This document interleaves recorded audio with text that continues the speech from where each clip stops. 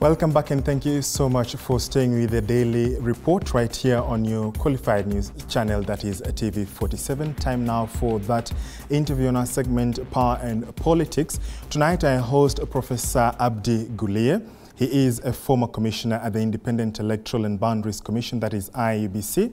And Professor Guliye made history as being one of only three commissioners to ever, rather th one among three commissioners to ever serve a full term at the IEBC. And tonight, he will lift the, the lead on a myriad of issues regarding what happened, of course, in the 2022, the 2017 general election, and much more, because this is considered sort of somewhat a tough job that many seem to avoid. But Prof right here uh, stayed through his six-year term. We shall be curious to find out, and we shall be hearing uh, what he has to say in this candid and exclusive interview right here on TV 47. You can trust us for these uh, such like interviews right here on your channel, favorite channel, TV 47.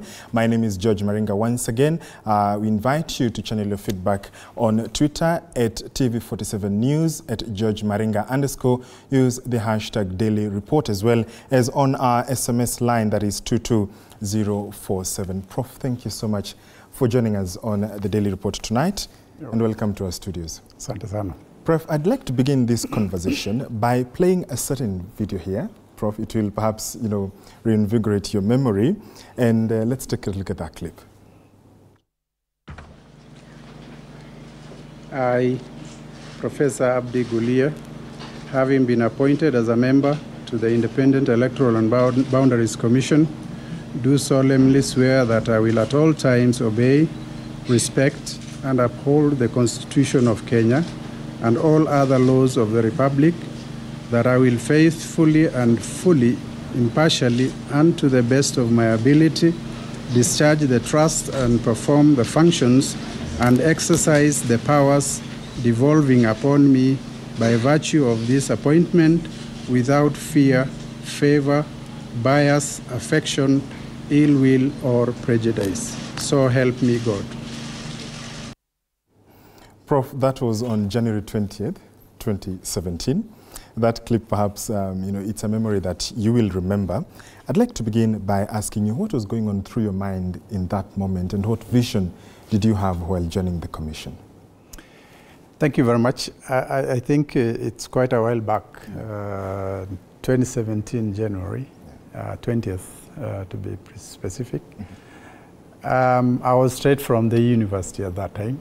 Uh, never had anything about, uh, well, I heard about IEBC, but I didn't have any, you know, interaction with IEBC that time, um, and didn't know much about elections apart from uh, having overseen elections at the university, student elections at the university on two consecutive years. Uh-huh. And uh, perhaps uh, that was the only experience I had on matters uh, elections. And so um, I was looking forward to what the new job entailed and uh, to give my best uh, contribution to the to serve this particular country and, uh, and and and my countrymen as well. So I was enthusiastic about the job, and uh, I don't regret. Mhm. Yes. The former commission, the former chairman, that is Ahmed Isaac Hassan, in his book he says that he was inspired or encouraged by the former Justice Minister for constitutional, for the former Minister for Justice and Constitutional Affairs, Martha Karua, as well as Amina Mohammed, uh, you know, and his partner at the law firm. Who or what inspired you to apply for this position? To be honest, I didn't I didn't have much interest in the job at the first at, at first, um, and my application was on the last day. I submitted my application on the last day of the advert. Yes. And the reason was that uh, a number of my colleagues, you know, felt, you know, I could take up this position.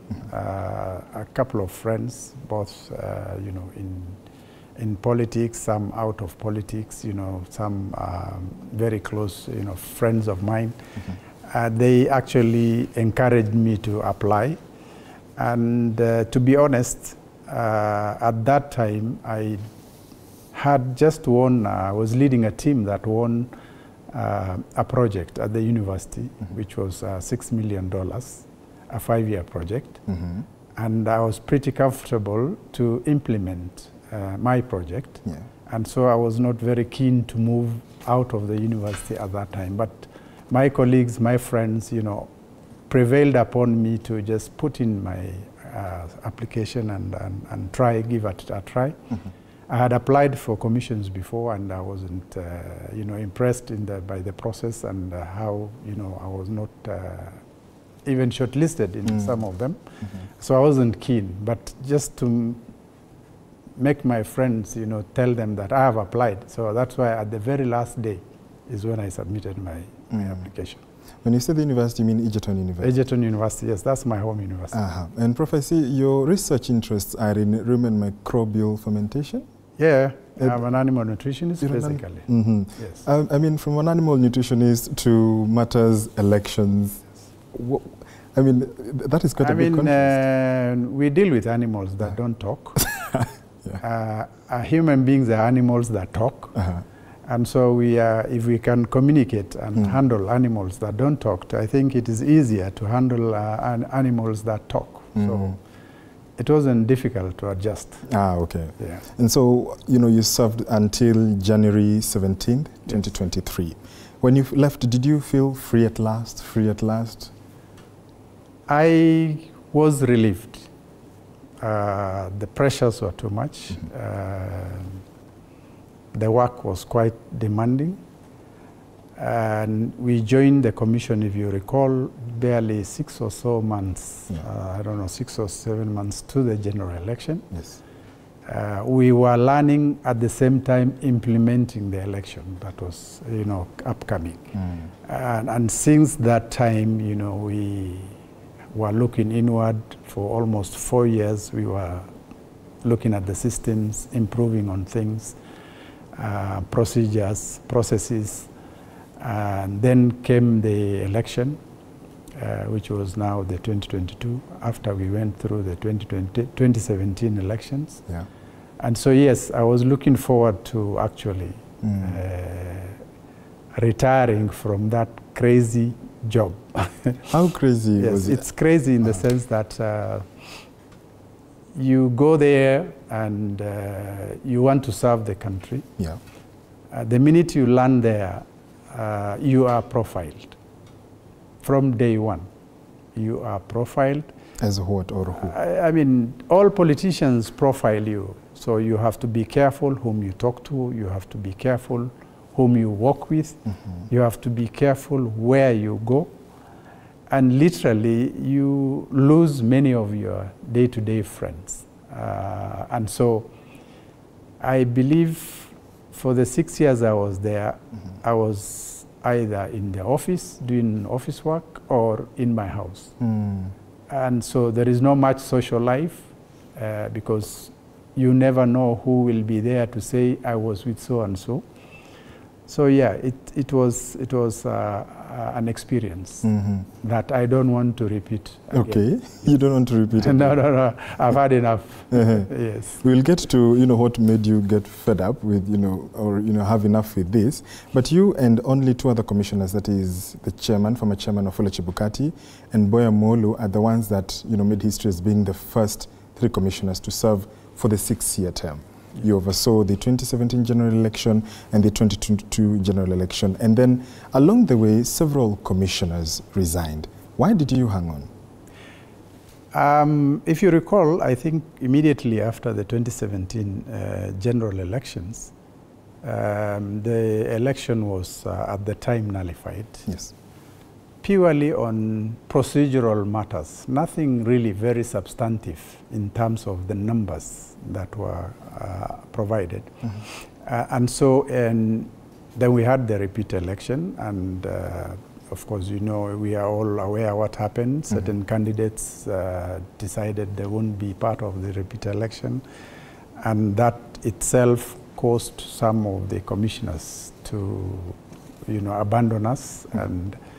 And so the subsequent to the, after the elections and the, in preparation of the subsequent election, which was 2022, yeah. I think uh, we decided, the three of us, that we will stay put and make sure that we improve the institution uh, for the better. Yeah. And so that was the motivation we had, uh, especially the chairman and uh, Commissioner Molu. Mm -hmm. That is the motivation that we had, that this is our country. We have found an institution that probably needed uh, improvements here and there. And, and so that, that, that made us to hang on to make sure that we improve on processes, we improve on procedures, and ensure that come the next election, which was 2022, mm -hmm. we conduct the best election in the country that the country has ever had. And did you achieve that? Yes, we are quite satisfied with what we achieved, uh -huh. and we are actually very proud of what we achieved mm. because it turned out to be the best election in the in the country. You argue, Prof, that you know the 2017 election was barely on it was procedural issues that you know based its nullification. Um, but procedurally within the commission, uh, at the time, let's go to 2017, were there rifts when you came in, because you came in as six, seven months ahead of the election? Did you um, experience rifts immediately, or at what point did the rifts uh, come in? I mean, the, in the, in, in, when we landed there, of course, we had, you know, we came from different backgrounds. Yeah. We were from different institutions. Mm -hmm. And so we barely knew each other, so it took a period for us to uh, know each other, weeks, months, work together. I mean, we had about three, four months, which okay. we had, you know, no issues. Mm -hmm. We were all working together, and uh, we found uh, uh, election operations in place, plan in place, and so all we were doing was to implement, you know, the election operations plan and make improvements where possible bearing in mind we came too late into the scene. Mm. Um, but I think the, the little arguments that we had thereafter is particularly after the election, the main general election that was, that was held, mm -hmm. uh, and particularly towards the repeat election. And, and so that is where we, we, some of us felt that, you know, the election had been nullified the constitution is clear. It has to, a repeat election has to happen within 60 days. Yes. And we were obligated to oversee the election by the constitution and the laws.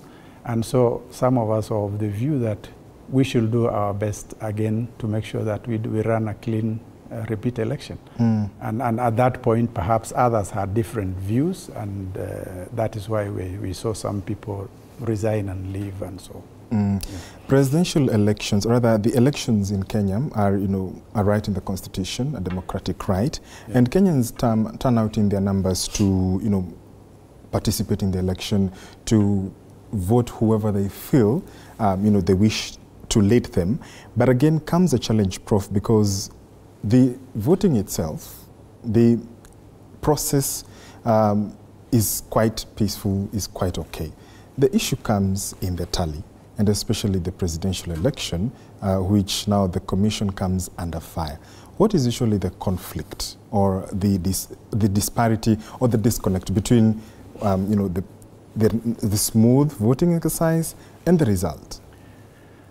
Uh, thank you for the question. I think uh, what we see, what Kenyans see, the castigation of IEBC, all the allegations labeled against IEBC on matters elections, mm -hmm. these are symptoms of an underlying problem.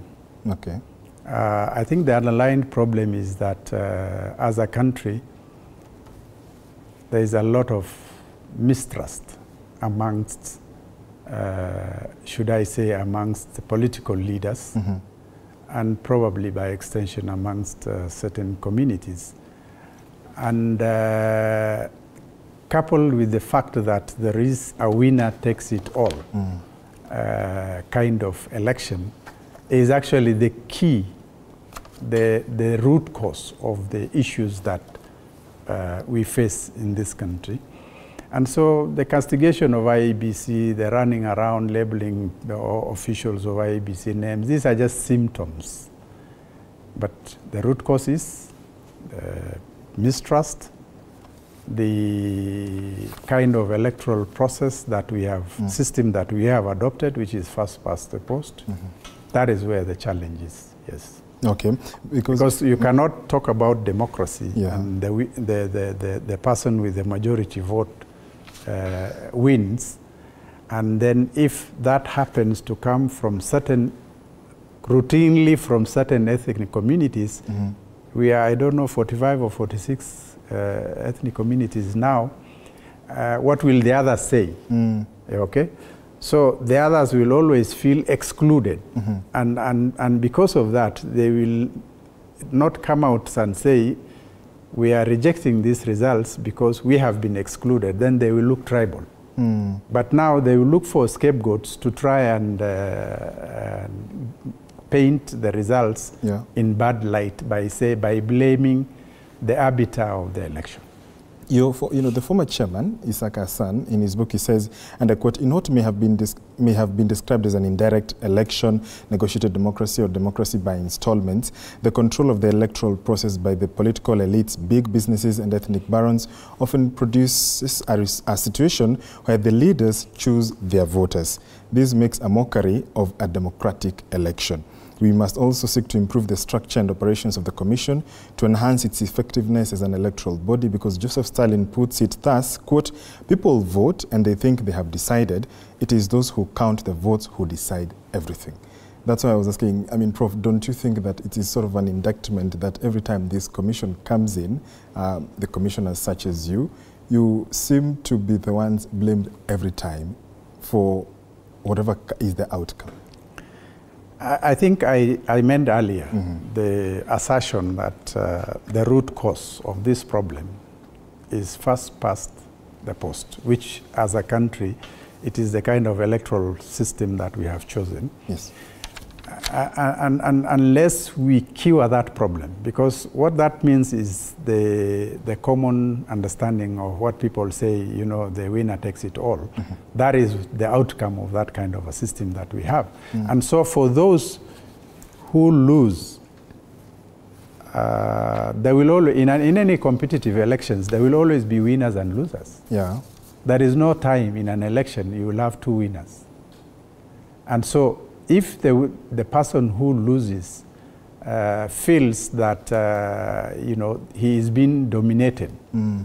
then it means therefore the unless you look, look at the actual electoral system, yeah. and we probably uh, try to blend that first past the post with some uh, mixed uh, or uh, mixed proportional representation mm. or mixed member representation or pure purely proportional representation, then this problem will always be there, and IEBC, in yeah. whatever, whatever form it will be, and whoever will be overseeing it, will always be blamed. Mm. Because in democracy, we have to accept that uh, it is competitive, people will go for an election, votes will be cast, somebody will win, somebody will lose. So then, and so yeah if what we have, if the system we have uh, adopted, you know, first past the post is such that, you know, if you get 50% and mm. one vote plus one vote, then you become a winner. 50% mm. uh, of votes cast plus one extra vote, you are a winner. Then, I mean, it is a close margin. Yes, mm -hmm. nearly half the electorate didn't vote for the winner. But does that justify, if that is the kind of system that we have adopted and we have put in our constitution, mm. does it justify for us to go and fight that winner? So, yeah. So then, so mm -hmm. the, the, that that is where the challenge is yeah. actually, and we need as a country to address it. Do we need to have this winner first past the post as an electoral process?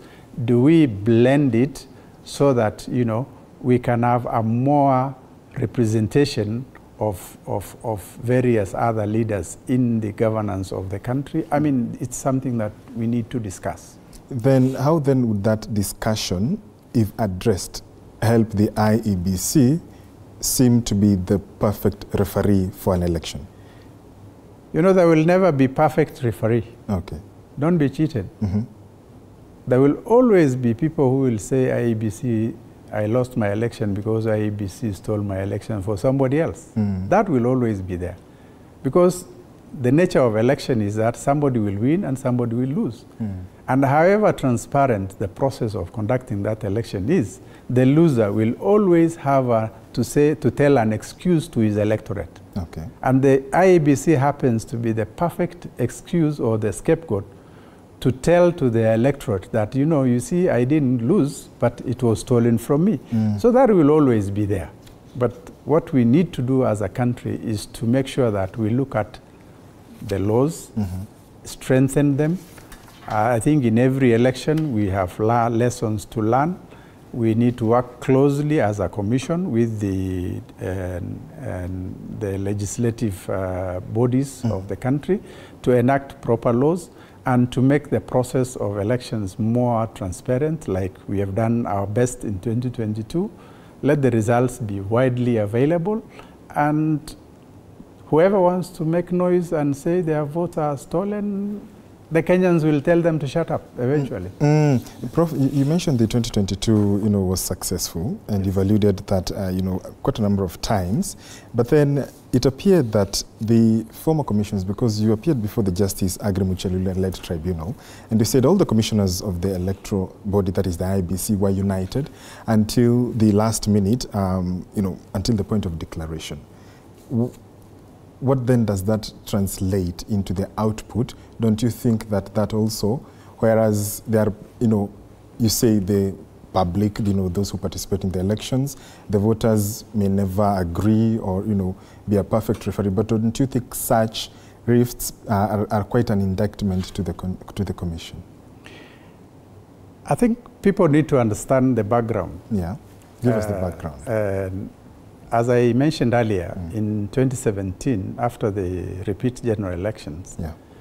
immediately thereafter, we uh, found the commission needed, we needed to relook at the processes and of the commission and improve on systems in order to make the 2022 election better. So we needed to have a, a, a good foundation for, for, for preparing the 2022 election. Yeah. And one of the things we had decided was to relook at our processes and to make sure that we improve on them. Uh, of course, we in, after every election we do a post-election evaluation exercise, and this informs the any changes that need to be made, uh, you know, in, in for, for purposes of enhancing the subsequent election outcome. Mm. Uh, and so when we went through that uh, process, we we had issues with the CEO then, Yeah. uh, and so we found that uh, we needed um to look at take stock of what has happened. So we wanted to do a, an, an audit of, particularly on resources. You remember, elec we were being accused of, you know, using a lot of resources for elections. Mm. We came too close to the election. We didn't know uh, how resources were being, you know, used before we came, and so we said, let's start with first doing an audit on election resources, and I think that was the the reason that we had a fallout with our three commissioners who subsequently resigned sometime. I think it was 2018 or something. Yeah. They didn't want us to do the audit Audit. on the resources so that you know we could understand and, and for us we were doing those resources uh, audit on the resources so that it could inform in subsequent election how can we adjust or what can we adjust Yes. so as to make sure that we use the little resource we get you know prudently Mm. and so the three of them were not for that idea. They said they would have, you know, election has passed. Uh, let's not uh, worry about it. Mm. Whatever was spent is been spent. Let's move on. And for us, we said some of us, three of us, we said we wanted to know what how things were done so that we can see what to do differently. Did, was the audit done? It was done. Uh-huh. The audit was done. I think subsequent to the audit, we had the CEO fired. Uh-huh. Uh, and so uh, we began now the process of internal reforms. When these other three, who were opposed to the process, they resigned and they left. So get, that gave us even a better opportunity to, you know, uh, revamp the commission in terms of processes and procedures. Okay. And so that is where our journey started from. Mhm. Uh, and so and when we did whatever reforms we wanted to do, uh, you remember we were fought a lot uh, for us to be removed from office, Yes. Whether it was through parliaments, through you know fictitious petitions, Mm. whether it was uh, declarations in Harambees and roadside uh, meetings or gatherings, political gatherings. We were being uh, insulted left, right, center to, to, to leave office. And are such calls, Prof, necessary for a commission? Of course, it's not necessary, but uh, they were determined to, to get us out of office. And so, and, and we were very firm. Each Mm. time we were approached, and we were approached by very senior people. Would you mind I, I will not say what, what transpired, but Mhm. we, we just told them we are constitutional office holders. Uh, we did the election to the best of our ability in 2017. We conducted the repeat election. If we have done anything wrong, take us through the, the constitutional process. We are ready to face it. These senior people, Prof, are they from government or opposition? I mean, of course, it will be from government of the day. Mm. But uh, so we, we stayed put despite all that pressure, Mm. you know. Let's now come to the rifts of 2022. Now, that's where I'm, where I'm heading. Yes. And so the, when the powers that be and all the machinations to, you know, remove us out of office didn't work, Yeah. and they realized uh, 2022 election is fast approaching, then there was only one other option uh, open to them, those Mm. who were trying to hood us out of office Mhm. and that was to fill in the vacancies. So uh, you remember in 2021 the process of uh, filling the process. I mean the the the, the vacant Vacancies. four commissioners, you know, commenced, Mm. and if you recall, that was the handshake Yeah. Government, Uh-huh. and and so I think the even the IEBC Act was hurriedly changed to suit them in terms of uh, the recruitment process they wanted to do. Mm. And so, you know, sometime late in 2021, we were brought the extra four commissioners. Yeah. And so we welcomed them, uh, opened up, you know, to them about all that we were doing and all that we had done. Yeah. And for a while, we thought, you know, we were being open and, uh, you know, we had given them all the uh, support they required to settle in, in, Mm. in office. Um, we were very forthright with them in terms of sharing information, trying to make them comfortable to, you know, uh, uh, to be to be able to participate in the in the in the, in the remaining Yeah. exercises. Uh-huh. And so this went on well, I think, uh, up to the election time. So the ground had been cleared. Everything Yeah. was, I mean, was set for th- for their entry. And did Yeah. you gel well? Well, we gelled well. We, we thought so from Uh-huh. our side. We, we, we thought we had gelled well. Yeah. Uh, we shared. I remember we were chairing so many committees because we were only three. Mm. And so we had to restructure the committees to accommodate them, and uh, they were chairing several other committees which we were initially holding together. And, and so that is, we welcomed them and, you know, gave them all the support they required to settle in and to participate in the process. And this is what we thought, you know, things were going to be okay. Yeah. But, uh, of course, uh, in the, on the election day, we saw different side of our colleagues. Mm. Yes. Did, did you see that coming, Prof? Did you, see, uh, did you ever foresee that other side you're talking about of your colleagues coming? Um, not explicitly. Uh-huh. Uh, whatever they had in their hearts, I mean, we, we had meetings, we used to discuss meetings, we used to sometimes agree, disagree, but that's the nature of boardroom uh, meetings. Okay. And so, but it was not explicit. Um, but of course, it became explicit Mm. uh, when it came to the final hours of the, of the tallying and uh, announcement of, of results. Um, there, there there has been an argument if there appears to be a lack of unity or separated, divided front, then that is, you know, raises questionable queries regarding the outcome.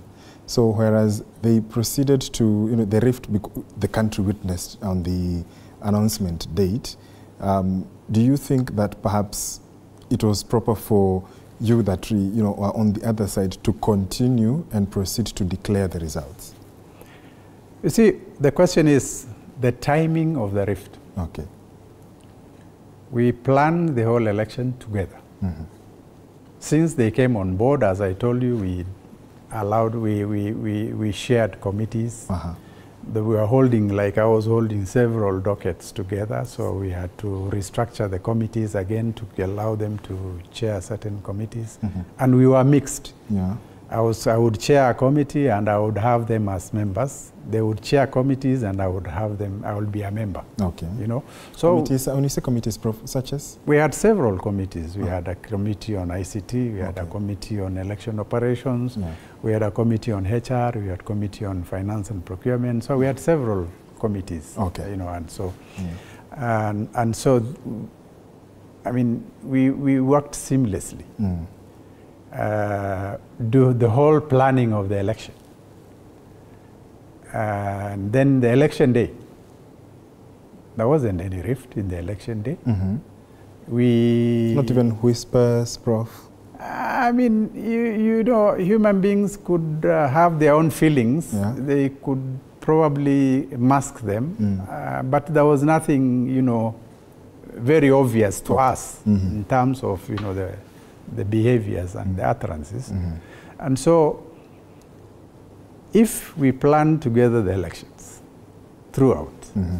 uh, chaired committees together, went to field together, went to oversee the even outside the country to oversee the you know external activities that were ongoing.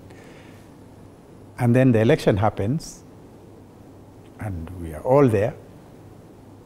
Then the verification of the results, which was happening, you know, Bomas was generally a verification venue Mhm. and it was also the coordination of various activities in the country. And even then, we had different commissioners in charge of different activities. Okay. And again, we were mostly paired Mm. to, to, to look oversee certain activities. Mhm. So all this was happening without any issues. Then the results start to trickle in. That is on the evening of August 9th. Yeah, I mean, uh, August 9th is, uh, is too soon. I think it started, you know, the small... Uh, August 8th, yes. yes. Yeah, then the, the small polling stations with, or polling stations with fewer number of registered voters will of course transmit early. Yes. So anyway, the process of, you know, results coming in uh, came in. started. Mhm.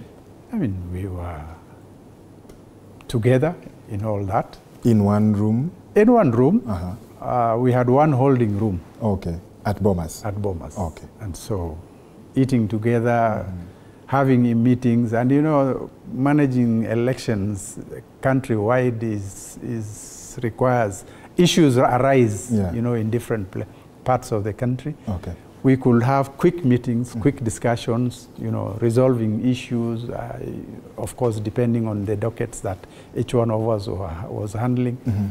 So all this was happening seamlessly. Okay. So then uh, the tallying process, I mean the ve- tallying and verification process began on the floor of the Bomas. Uh-huh. Uh, I was overall in charge of the process, but commissioners were all present and participating in the exercise. Mhm. You must have seen commissioners announcing constituencies, results of various constituencies. Yes. Actually, I never announced any result Mm. myself. Okay. Uh, and so this was all seamless. So the only disagreement arises at the 11th hour when it is a few hours to announcing the final result. Okay. Yes. So, So it tells you Mhm. they must have been getting orders from somewhere. you know. Prof, I, um, you know, I'm curious about because you mentioned the 11th hour. At what point exactly? Because up to leading um, up to the 11th hour that you talk about, the sort of um, verification and fulfillment of the 50 plus one, 50 plus one percent. At what point exactly? Because we did see the commission, the chairman, come in now towards the end, appear to make the announcements and you know make declarations and address the country somewhat alone. At what point exactly? The, the question you're asking me is in public domain. Ah. I think we put this all in our our affidavits to the Supreme Court. yes, but uh, So it's it's not uh, uh-huh. it's not anything confidential, okay. And uh, it uh, the disagreements arose around 3 p.m. thereabout. Mm.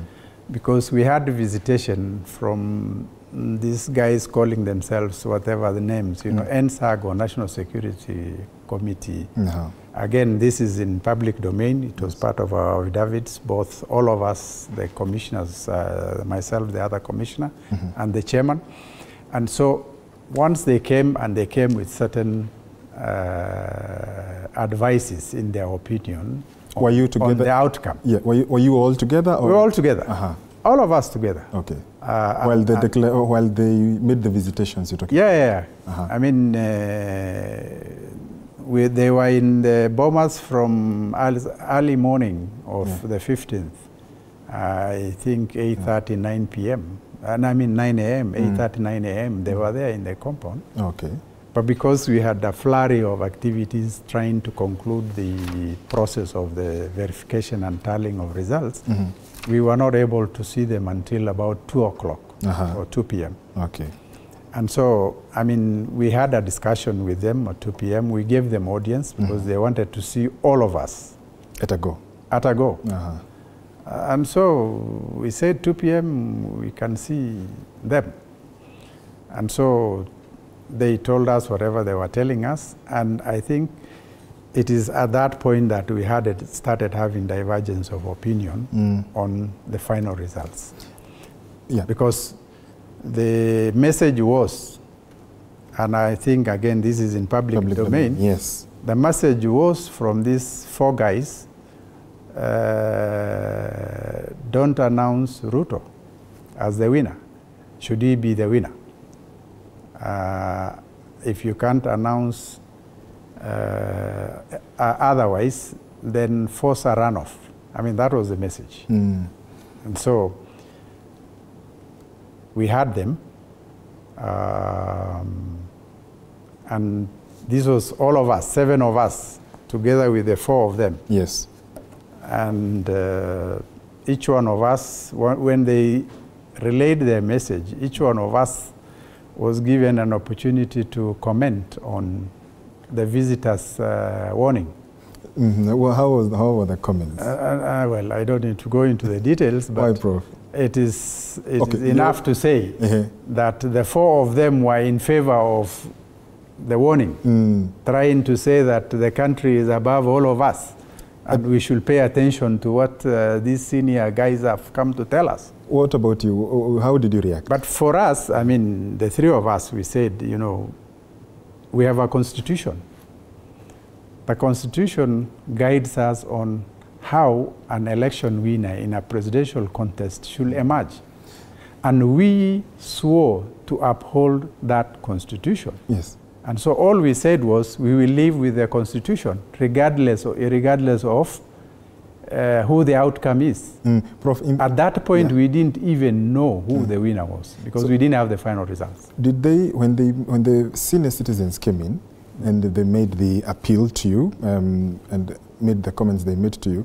Did they ask for feedback at a personal level, or did the grouping now, because the four you say supported the calls and the three of you, you know, dissented? No, I mean, they, they just said, this is the message we are bringing. Uh-huh. Uh, any, any, any Kenyan who will die, Yeah. the blood of those Kenyans will be in your hands. Okay. If you don't do this, and if, in fact, they went ahead to say skirmishes and uh, fights have already begun in certain areas. They mentioned particularly in Mathare and uh, in uh, Kibra. Okay. And, and they even said that uh, certain communities were being accused of, of you know, not supporting Mm. the other communities, and that it is taking an ethnic dimension. Those fights are taking ethnic dimension.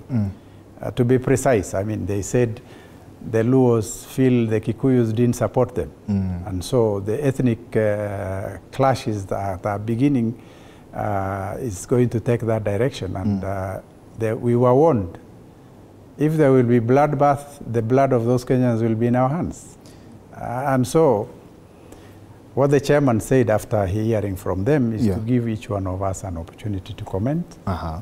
In their presence. In their presence, Uh-huh.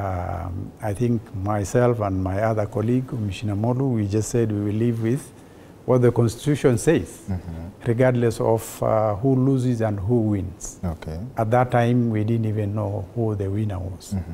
And so the chairman finally ruled and said, okay, we've had, he told the, the, the, the senior guys who came, we've had you, let us, now you can leave us to discuss further, and uh, you, ca- you can leave. And they left. So they left and we remained. Uh-huh.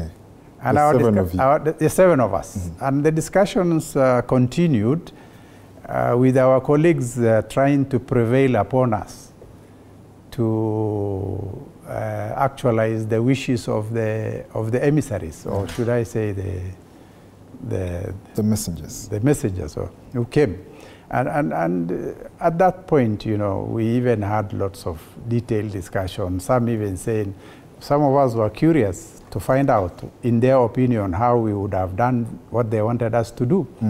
You know, some even suggesting put these votes, this, uh, no, you know, uh, immediately they left. eh? Yeah. And the CEO walks in with now the final result. Uh-huh.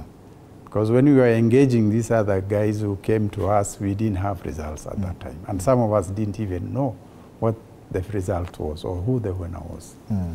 So when the CEO came in, the discussion now went ahead after they have seen the actual now figures. Mm.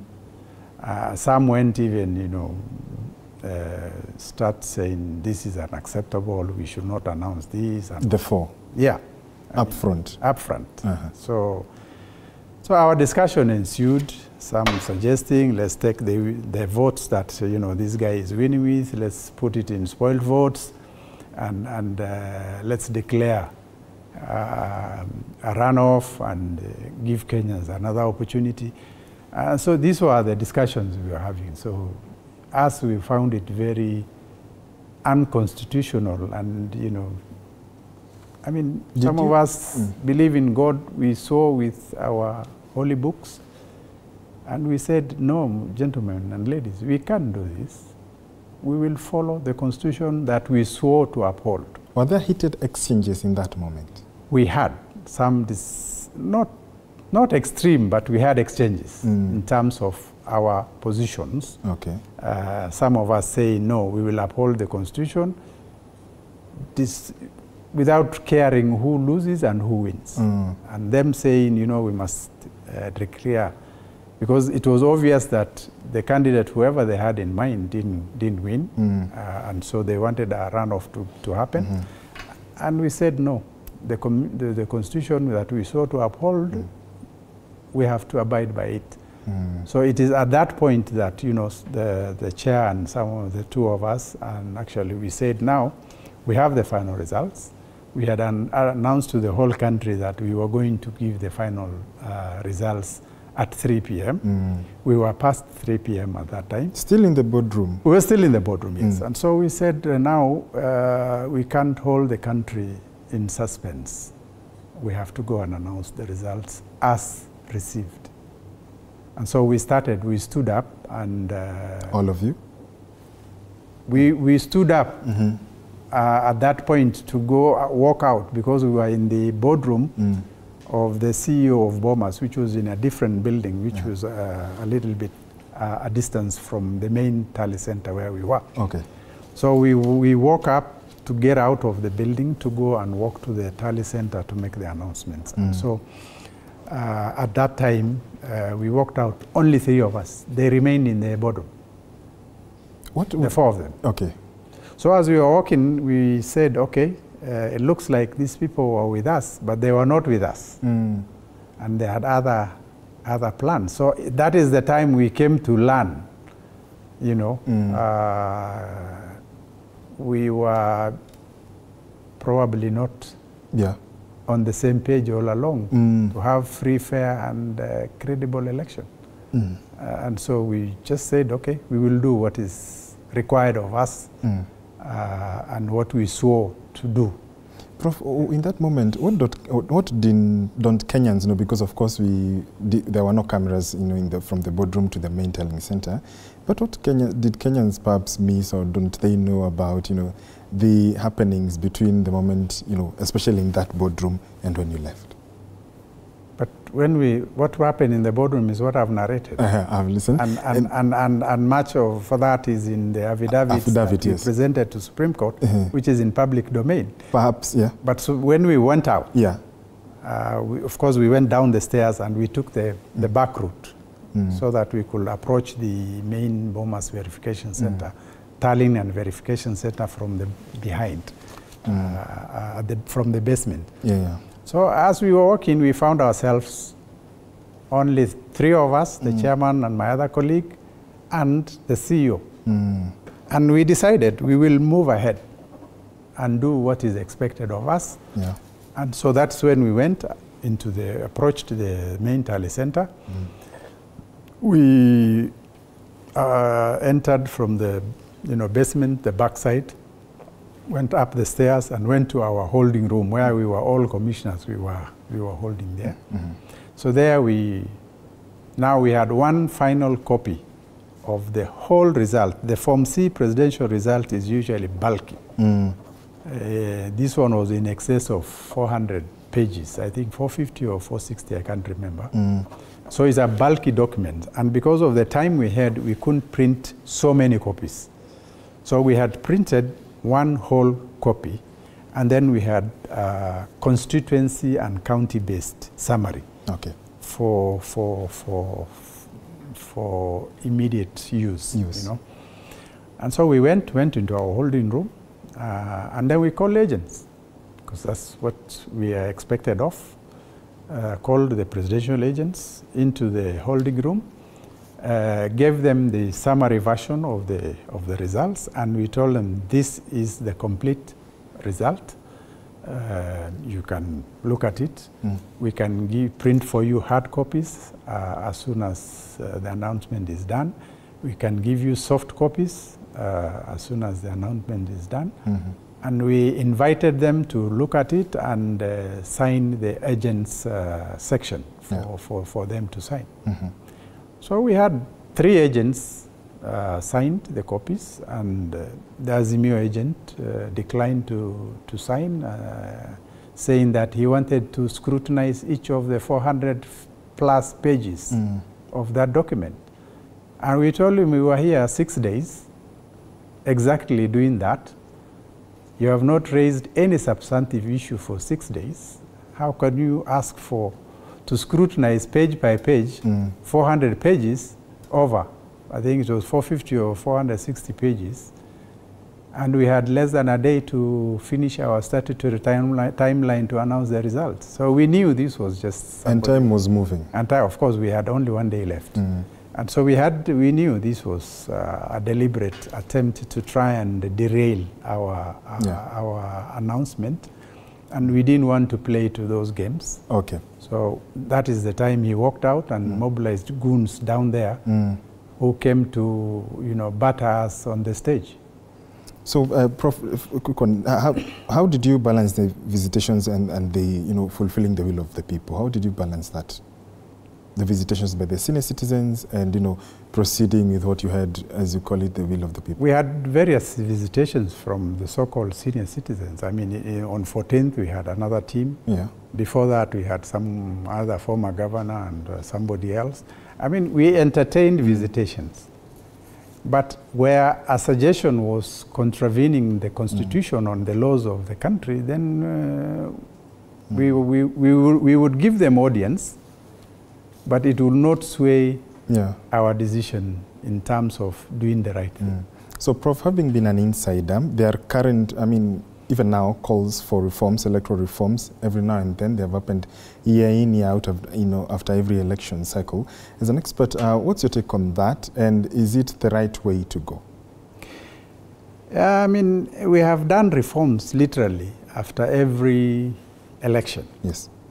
And reforms are not bad per se, mm-hmm. because, you know, when you conduct uh, six elections, because what Kenyans don't know is we are doing six elections in one day. Okay.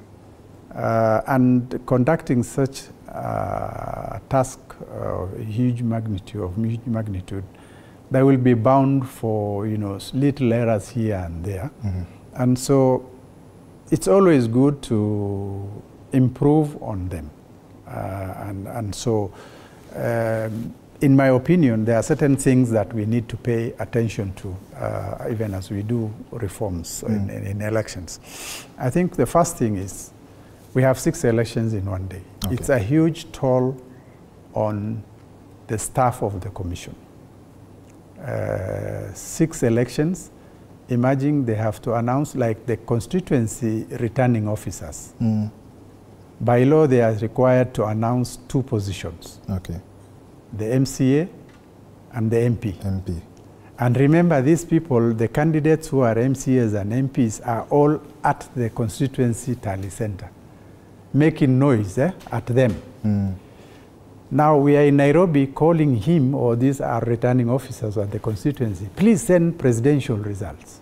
So in terms of, you know, the, the election happens at the polling station. Once the polling station closes, the sequence, there are six elections, as I mentioned, there are six ballot boxes to be counted mm. by that presiding officer at the polling station. And by design, we ask them, to, or by law, we ask them to start with the presidential. Yeah. So that form, the, the presidential result form has to be filled by the PO first, then goes to the others. Mm -hmm. Okay? And now, when the PO come, presiding officer comes to the constituency, now he will bring all the result forms for all the six elective positions. Now, he has to collect and tally the results for the MCA and the MP and announce. Then for the others, he brings it, for those that are county-based positions, he Yeah. brings it, he does constituency tally and then brings the, to the constituency returning, I mean county returning officer, Officer, yes. who announces the governor, senator, and women rep. Mm. Then he has to travel with the far, uh, all the polling stations in their constituencies. The Form 34 is the results, the original results for the polling station. He has to bring them to Nairobi. Mm. So it's a huge toll on our returning officers, I think. So to make sure elections are smooth, uh, our staff usually, for seven days, they hardly sleep. So the reforms you're talking about, So what I'm suggesting is, Yes. can we have a county-based elections uh on a different day. on a different date than the national elections? The county-based elections could be county positions, the governor, the senator that oversees the counties, and the, the MCA. They could be held maybe much earlier uh, than the presidential or the national one, where the national one could be the presidential, the, the MP, the member of, uh, uh, member of National Assembly, and the women rep. So that can be done at a separate time. It will make the work easier. They will be less stressed. They can probably do better in terms of the execution. Yeah. So that's one reform uh, area that probably, uh, as a country, we need to Look consider. Yeah. Now, we live in a highly ethnicized country. There is a lot of political mistrust.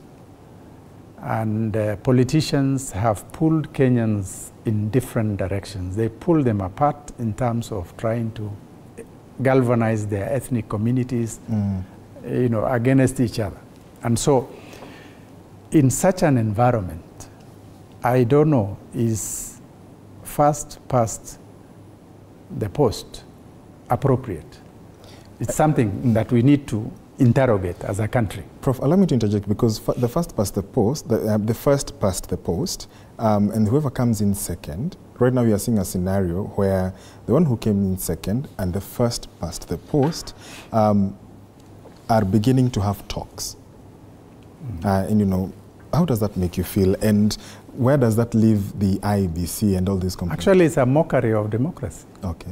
The so-called talks. What are you talking about? You voluntarily went into an election. Uh-huh.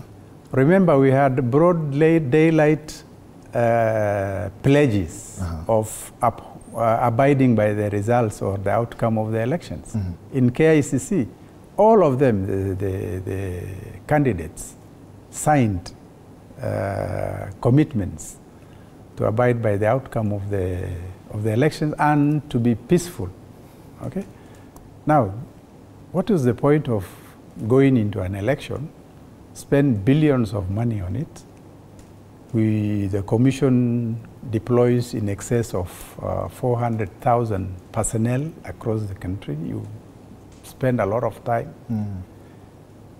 and thereafter, you don't respect the outcome of that particular process. I mean, it's a mockery of democracy. So I think Kenyans need to decide whether they want to have competitive elections or instead of having elections, they sit be under a tree, whether it is in State House or elsewhere, and uh, agree, the political barons can agree on, on how to share power. Mm. Yeah. Because then, how, that conversation would should it be held then? Uh, because having been a commissioner at the IEBC, would how would you curate that conversation of ensuring um, that we don't get to this stage where we have political noise after an election? No, that's what I'm, I was trying to enumerate. Yeah. I mean, what needs to be done? Yes. I mean, first of all, uh, let's look at the elections. Can we Separate the separate days. them? Yeah. Uh, have the county elections separate, maybe ahead of the national elections, maybe one month, one year, I mean, six months, one year apart. Mhm. Uh, that's one option. Let's interrogate first past post. Is it the best model for us? Mm. Uh, in a country where we have in excess of, I don't know, 44, 45, 46 Yes. ethnic communities. Uh, is this the most appropriate way of electing our leaders? For now, it's only the presidential which has a little bit of adjustment Mm. where we say the, they must get 25% of the votes cast in the majority of the, of the, of the, the counties. counties. That is the only other addition to 50 plus one. Mm. I mean, do we need to have, you know, uh, a different model? I mean, Yeah. There are other models, proportional representations, uh, mixed member representation. I mean, there are, as a country, we need to have conversation so that we can have more people Mhm. participating in the governance of the, of the country. The other thing that we can do is, uh, I mean, we could look at uh, um, party primaries. Mhm. Do they really serve the purpose? We have seen how chaotic they are, how undemocratic they are. Yeah. I mean, there are conversations that we need we need to have around uh, uh, party primaries, um, and I think there are a number of other things. that Yes. Prof. we, um, we would want to share with you yes. if there will be opportunity uh, Mhm. for us to to give our views on. Okay, so then does it mean we will look at the IPPG of 1997 and the then how political parties and politicians are involved in the selection panel of commissioners? How is that model? I mean, Could it's, it's a model that has been tried. Uh, I have a reservation about uh, the independence of the institution that is conducting elections Okay. if the people overseen are not themselves independent in terms of their political aliena- I mean, inclination. Uh-huh. So if I am a representative of a particular political party in uh, the commission that is supposed to be independent, can that commission be independent really? Mm. I mean, it's a conversation we need to have. Yes. Yes. So then it would There are countries in where political parties, uh, you know, suggest uh, uh, commissioners Yes. to run the elections. I Uh-huh. mean, I mean, is this the way we want to go? I mean, it's a conversation worth uh, uh, having, and uh, uh, and really, do we then talk about an independent commission? Yeah, because I wanted to compare what you know global democracies uh, you know go through. Um, what would be perhaps in your tours as as the as a commission of the IEBC, what are some of the places that perhaps you could point out and say such and such a country is going is doing well because they have adopted such and such a model, and it could be perhaps be mirrored in our country? You know, which, whichever model you adopt, Yes. it really depends on the citizens of that country. Mm. In those other countries, I mean, they have different models. There are models where the commissioners are coming from mainstream government appointments. There are models where they come from political parties. Mm. And so we have these across the, the, the globe, different models. Mm.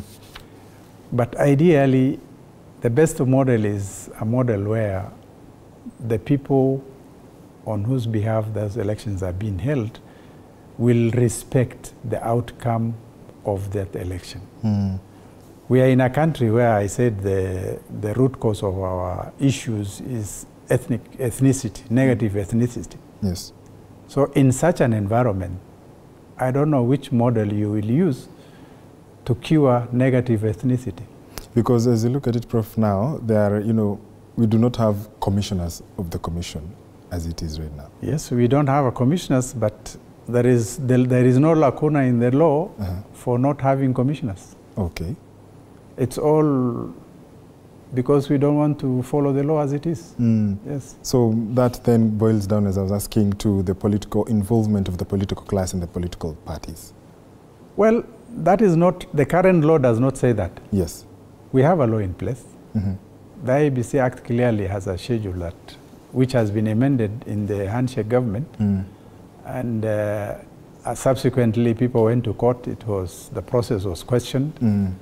I think the early life of this uh, parliament, I mean, after the 2022 general elections, the early life, they tried to pay attention to the judgments of the courts Yes. to improve on the process.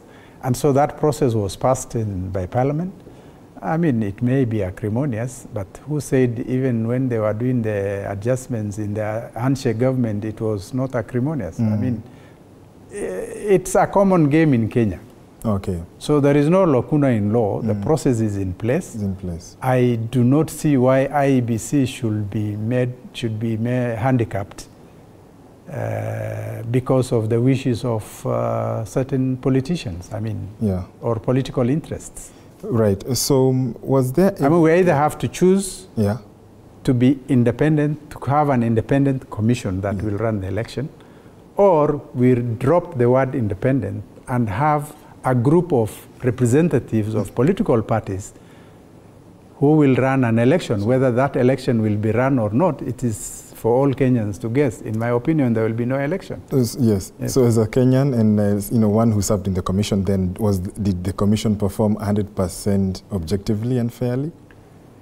In the 2022 general election, Yes. we've had the best election in terms of free, fair, and transparency. Mhm.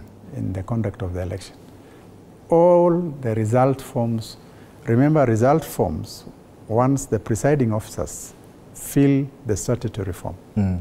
at the polling station, and we had 46,229 Yes. polling stations.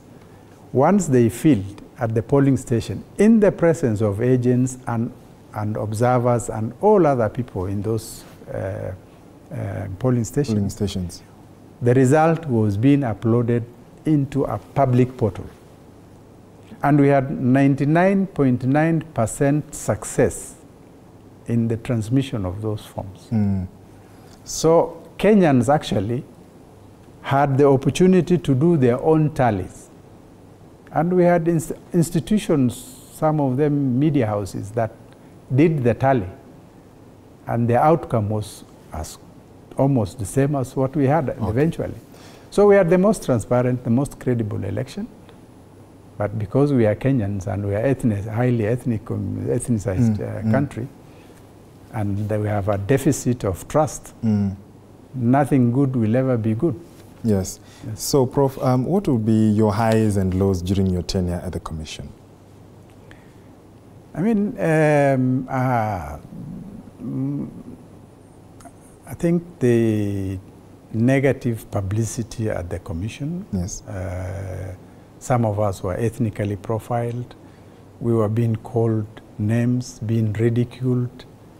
And for me, I had come from academia background. We had, you know, I came from a place where, you know, colleagues were respecting each other and we had uh, a very good uh, relationship with uh, our, our staff and other colleagues coming to a place where you are being insulted literally every day. Mm. I think that was one of my, I think I, what I didn't last, like most Mm. uh, in the commission. Um, but having said that, I think uh, the outcome of our 2022 general election, Yes. it gave us, it, you know, gave me that it was worth the insults, worth the name calling, Mm. When we had the best, you know, most freest, if, if there is anything like that, election in this country and in the region. Mm. Uh, I think that was also my high. You know, I, it was I ended my tenure on a high note Mm. after having had uh, uh, almost six years of insults Mm. throughout. Yeah. So, um, you know, and then your highs, perhaps apart from, you know, succeeding at a personal level, did you feel that the oath you took, or the oath of office, uh, you lived by it from start to finish? Absolutely. Yes. Uh, I have never been guided by anything else other than uh, uh, fidelity to the law. I Mm. think, uh, and I would urge any commissioner who wants to come to IEBC must never be a stooge to any politician. Mm. They must live as per the law. They must Okay. implement Right. the laws of the country. And above all, they will be swearing in the name of whatever God they believe in. Mhm. And therefore, they should make sure at some point, when people will not be seen, Yes. they will be asked. Eric on Twitter asks, you know, Judge Menga asked questions regarding allegations that were brought up by the four commissioners concerning a purported planned assassination against them. Being an IEBC commissioner is evidently a task considering the hurdles they went through. Would you speak to that? Who planned assassination against who? Uh, against, uh, brought up by the four commissioners regarding a purported planned assassination against them, the other four. I am not aware of any planned assassination. Okay. mhm. If anything, uh, Did you receive, uh, you know, threats yourself? well, we, we went uh, into hiding Uh-huh. after we announced the elections. You remember what happened at the podium? Yes. I was actually injured most hmm during that commotion, which some of them call themselves honorable, but really they, are, they include governors, senators, MPs who are subjecting us to that humiliation. Mm. Uh, at the end of the day, we were held, you know, um, seats, and some of us, I was bleeding from both legs Yes. after that fracas. Uh-huh. And so we felt threatened. Uh, and so that is why after we announced uh, when we were when the chairman came he Yes. came alone because I was injured bleeding from both legs I think the scars I can even show you I have them here Mm. of that election um, my colleague the CEO Marjan was hit with a blunt object at the back of his head Mm. and so he had a swollen head at the, at the back Mhm. uh, and, and so we had, because we didn't know from the reactions that happened on the floor of the, of the podium, we didn't know what was in store for us. And so we had to naturally go and feel, we felt threatened and we had to go and, you know, hide somewhere and see how things Yeah. are going. How about your families? Did they ever, you did you ever face uh, threats at a family level? Um, our families, of course, they were being ridiculed. Uh, I remember, um, you know, my family being isolated by our colleagues. Uh, I have children in school. I never used to visit them in during Parents' Day because I didn't want anyone to know Mm. they are my children. Okay. You know, but somehow word goes out even then. Mm. So I remember my son telling me in school, you know, Daddy, I'm, when I'm going to the school kiosk, they tell me pesa ya Ruto imekuja. So that's the level of, you know, Mm. uh, my, my, my family has been going through. But they were strong people. Mhm. I told them, you know, it's, it's, it is part of the job that I'm doing, and uh, it's not going to be forever. Yes. Uh, and so So, I mean, those hazards were there. Mhm. Yeah. And so, what have you been up to since retirement? I mean, I had to, I'd gone back, of course, um, enjoying my time in the newest city in Kenya, Uh-huh. uh, Nakuru City. Yes. Uh, I went back to my family who have always been in that uh, city. Mhm. I didn't have a lot of time with them in the six years. Now I'm, I'm with my spending time with my family. Uh, I had uh, lost touch with many of my friends Mhm. uh, over the six years, and I'm reconnecting with my colleagues. I'm going back, you know, uh, to my academia uh, life, Mm. uh, getting in touch with my colleagues, and uh, so that's how I'm spending my my time now. Mm. And uh, will you be writing a book? You've seen the former chairman wrote a book. Will you be writing a book? Um, certainly, there is more than enough to write, uh, not just one volume, but Uh-huh. More than one volume of books. Mhm. Uh, it's something that uh, I'm considering, yes. You, you said you, do, you wouldn't wish to go back to that position, but would you refer someone to that position, and what would be your advice? As long as they know what they're getting into, Yes. and as long as they have the courage to withstand uh, political pressures, Mhm. to withstand uh, deep state pressures. Mhm. So the deep state exists. Yes, it exists. We saw it live. Uh-huh. Uh, so if you can't withstand those pressures, and if you cannot say no to power, Well, don't go to IEBC. okay. Yes. Um, if, if the government offered you another job right now, would you take it up? I mean, I'm a Kenyan. I'm qualified, Kenyan, competent. I do my work diligently. If I am offered an opportunity, I will serve my country. Mm. Yeah. But not at the IBC. Not at the IBC, of course. Yeah. But uh, the constitution, again, doesn't allow me to serve there. So Okay. Uh, have you ever set foot back at Anniversary Towers since your retirement? uh, I haven't been there. Uh-huh. Uh, I think I went there once, only once, to collect something. Okay. But uh, I haven't been to anniversary towers for months. In when you think about it, when But I don't mind going back there. I mean, I'm not banned from going back, to going to anniversary towers. I have, oh, six years, I have made lots of friends there, Mhm. and they are very good, hardworking, dedicated Kenyans serving this country in IEBC. Mm. And Kenyans should treasure them, Kenyans should be proud of them, and Kenyans should give them support to I- do their job. Yeah, and are you in touch with the former chairman? How is he doing? I was talking with him even yesterday. Okay. Chairman is fine. Uh-huh. He's uh, probably somewhere in, in Nairobi Yes. enjoying himself. I'm, I know he has been out of the country, pro, uh, traveling around. Mm. He was making presentations on different places. Mhm.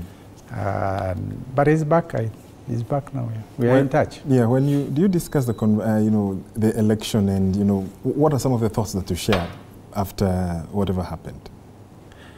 Um, we do uh, reflect on the days we had. Uh-huh. Uh, and I am happy that we are all uh, Mm. satisfied, Okay. especially the three of us, Mm. that uh, the commitment we made to each other in 2018 mm -hmm. to revamp the commission and mm -hmm. to Mhm. hold the most freest election mm -hmm. for the country Yeah. came to pass. Mm. So it's something we, Okay. we, Uh, enjoy and talking about it. yeah, and the other four commissioners, are you in touch? Did you ever keep in touch afterwards? No, since they left me in Bomas, I have never talked to any of them. Okay. So, Prof, uh, your, your closing remark, perhaps you can look into that camera and, you know, speak to Kenyans regarding electoral reforms, uh, democracy, and what they need literally to do, and perhaps should they trust the IEBC? I, I think I'd like to tell the country that um, this country is fortunate to have men and women serving in the Independent Electoral and Boundaries Commission, uh, the IEBC. Uh, they need to support them, they need to encourage them. It is unfortunate that, uh, you know, once in a while uh, during, you know, elections, we end up losing uh, lives of com- commission staff who are serving this country with a lot of dedication Uh, we lost, you remember, Chris Msando in 2017. We lost uh, Musyoka, Daniel Musyoka in 2022. Nobody should die for serving this country in IEBC. Uh, Kenyans should support the commission. It's a commission that has a lot of um, dedicated, Mhm. competent, and very professional in how they do their things. Okay. You know, it's ironical that we hold six elections in a day, Mm. and for fa- f- he- uh, an election that is held by the same institution, IEBC, by the same officials, overseen by the same officials, right from chairman to the returning officers at the constituency, Yeah. and run by the temporary officials, over 400,000 of them. But the five elections are okay. But one election is never okay. Mm. I mean, that should tell Kenyans something, Okay, you know. yes. Uh, and so I think Kenyans chose to, in their 2010 constitution, to have uh, uh, a democratic um country. Mhm. And they have chosen that uh, they will um, have their leaders by way of elections. And uh, we either go by the outcome of elections or we need to have a conversation on how to have elections or how to have our leaders in office Mm. if the elections that we hold as a country Mm. is always being subjected to unnecessary uh, you know uh, vilification Absolutely. yeah Thank you so much indeed. That is, has been Professor Abdi Guliye, former commissioner of the Independent Electoral and Boundaries Commission. Abdi Guliye, Prof, thank you so much for speaking to us and, of course, unraveling the issues that surrounded his tenure, his six year tenure at the IEBC, having overseen two elections, the 2017 and the 2022 election. I can see your feedback coming. You can keep it, uh, the conversation going on online. My name is George Maringa. Thanking you so much on behalf of the entire team. As always, stay safe and be kind to one another. I'll see you tomorrow on the People's Court and again next week on the Daily Report for this conversation and others on politics and power. Good night from Nairobi.